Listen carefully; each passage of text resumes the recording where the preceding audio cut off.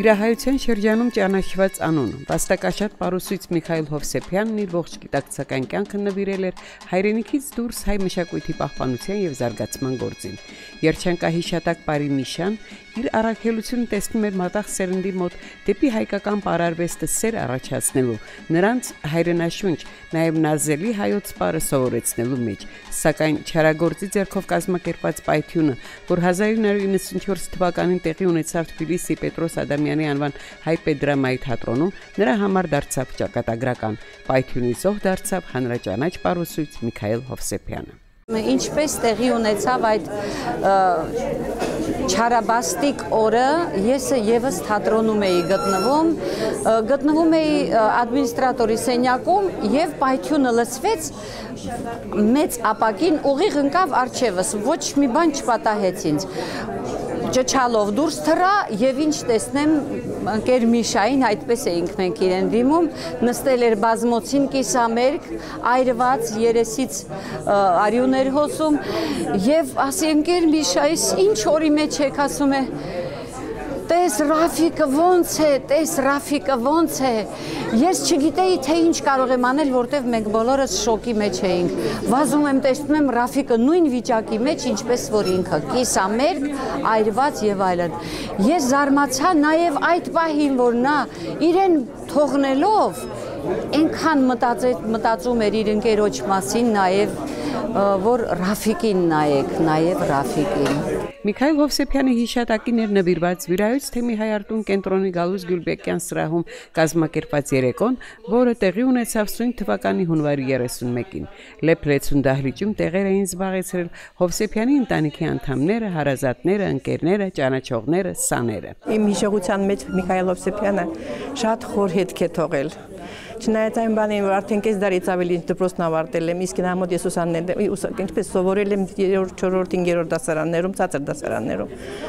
չնայած որ չեմ դարձել ես պարուսույց ու չեմ խորացել այդ մասնագիտության մեջ, բայց այդ մարդը մեր մեջ ներշնչեց գեղեցիկը, բարին, այն մարդիկ ես իմ արդեն իմ հասակի ձելնելով տեսնում եմ այն մարդիկ ովքեր երաշտությունը, արվեստը գնահատել են, նրանք ված բան չեն կարող անել։ Միքայել Հովսեփյանը գործունեության նպատակ ընտրելով հայ երեխային հայկական պարը սովորեցնելը օրվա ընթացքում հասցնում էր լինել քաղաքի տարբեր մասերում գտնվող հայկական դպրոցներում անցկացնել պարի դասերը, որոնց ընթացքում ծնողական հոգատարությամբ, բայց եւ մանկավարժի խստությամբ սովորեցնում էր տարբեր պարերի ճիշտ կատարումները, հող հարթում դեպի արհեստավարժություն։ Ես իրոք 5 տարեկանից ապարում եի, երբ դեր քույրս եւ եղբայրս էին ապարում, չէի ապարում, այսինքն գնում էի իրանց հետ շփվում էի ու տեսնելով որ կա ինչ որ մի բան, խնդրեց որ թողա ապարի, որ ապարում էի արդեն զգաց որ ինչ որ կա իմ մեջ փոքր ապարային ինչ որ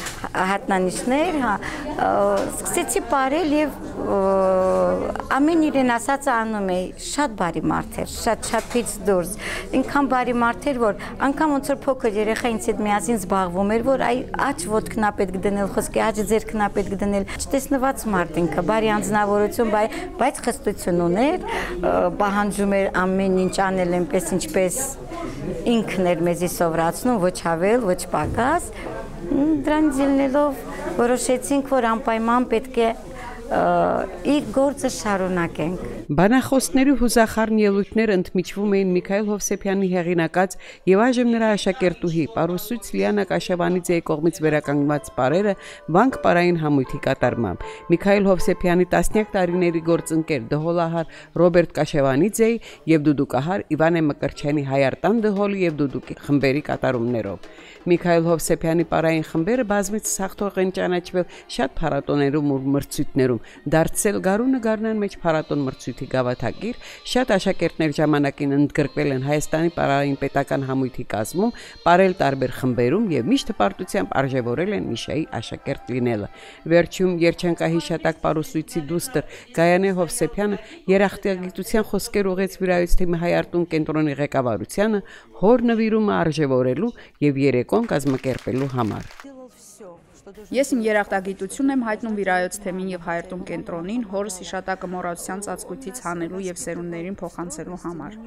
Հայրս միանգամայն ուրիշ մարդ էր եւ որպես հայր եւ որպես դաստիարակ։ Նա փոխարինում էր մեր ջահել հասակում կյանքից հեռացած մորը։ Նա մեզ դաստիարակում էր խստապահանջությամբ, բայց եւ մեզ երբեք չէր նիսեմացնում։ Երեխայի հետ երեխա էր, մեծի հետ մեծ։ Ինձ համար շատ դժվար է այսօր խոսել, պարզապես նա հայր էր մեծատառով եւ նաեւ մարդ մեծատառով։